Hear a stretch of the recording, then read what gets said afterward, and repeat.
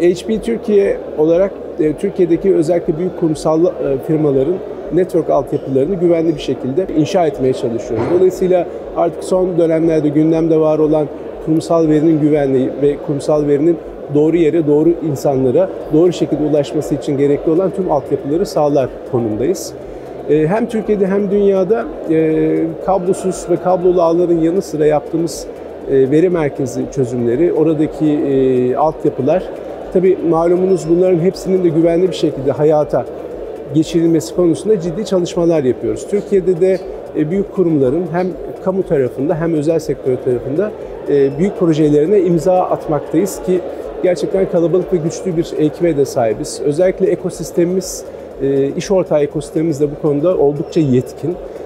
Hal böyleyken de önümüzdeki dönemde yaptığımız çalışmalara, yapacağımız çalışmalara dahil etmemiz gereken hususların e, özellikle as a service modeliyle tüm bu servisleri, tüm bu hizmetleri hem güvenlik tarafında hem kablolu hem kablosuz ağlar tarafında e, bir şekilde as a service yani bir servis modeli olarak son kullanıcıya ulaştırmak gibi bir motivasyonumuz var. HP Aruba Networking özellikle HP'nin çok e, önemli bir e, business yöneti.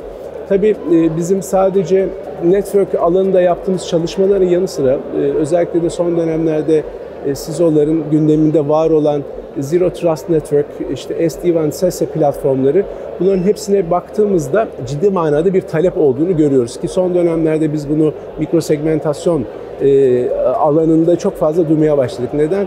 İşin OT güvenliği, IoT güvenliği, e, bunların yanı sıra e, son kullanıcıların e, güvenliği hepsini bir araya topladığımızda ciddi bir platform ihtiyacı olduğunu görüyoruz ki HP Aruba Networking olarak S-Service platform tamamen bu ihtiyaçlara yönelik çözümleri e, sağlamakta.